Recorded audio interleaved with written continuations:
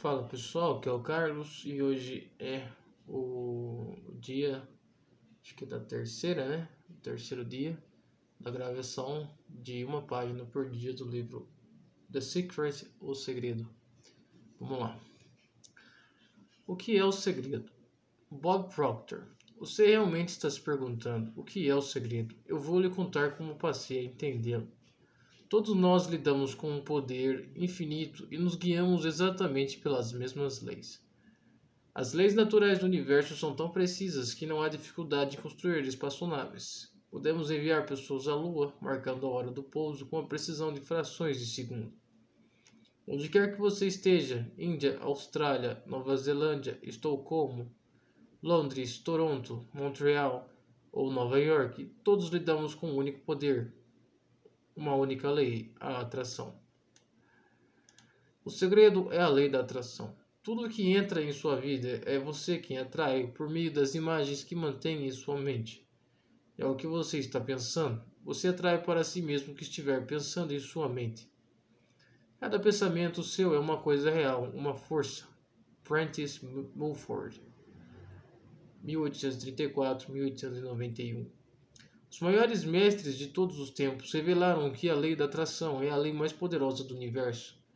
Poetas como William Shakespeare, Robert Browning e William Blake recitaram-na em, seus versos. Músicos como Ludwig van Beethoven expressaram-na em sua música. Artistas como Leonardo da Vinci representaram-na em suas pinturas.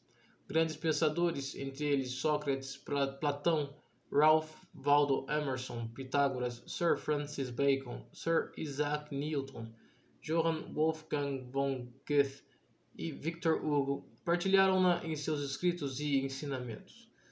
Seus nomes foram imortalizados e sua existência lendária sobreviveu aos séculos.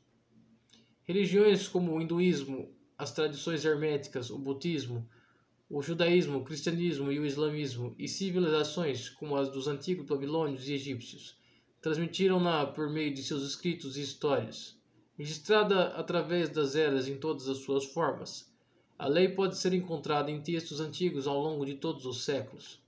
Ela foi gravada em pedra em 3 mil anos antes de Cristo, muito embora algumas pessoas cobiçassem esse conhecimento, e de fato cobiçaram.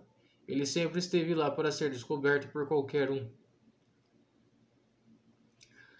A lei começou nos primórdios dos tempos, ela sempre existiu e sempre existirá. É a lei que determina a completa ordem no universo, cada momento de sua vida e cada coisa que nela você vivencia. Não importa quem você é ou onde está, a toda a todo poderosa lei da atração dá forma a toda a sua experiência de vida ao ser posta em ação pelos seus pensamentos. É, muito bem, pessoal, terminamos aqui na página 11 e amanhã eu leio mais uma página. Uh, se você gostou do vídeo, deixe seu gostei. Uh, comenta aí o que você está achando, sugestões, tudo mais, dúvidas. Uh, se inscreve no canal, ative o sininho para estar tá seguindo a série. e compartilhe esse vídeo com outras pessoas se você achar interessante. Tenho certeza que elas vão gostar. Eu estou aqui passando a ideia de, de consistência. Você tem que focar na consistência. E aí, uma forma de você garantir que vai ser consistente é fazendo um pouquinho por dia. Nunca fazer mais do que aquilo que parece ser trabalhoso. Ok, pessoal? Muito obrigado por ter assistido o vídeo até o fim e até o próximo vídeo. Tchau.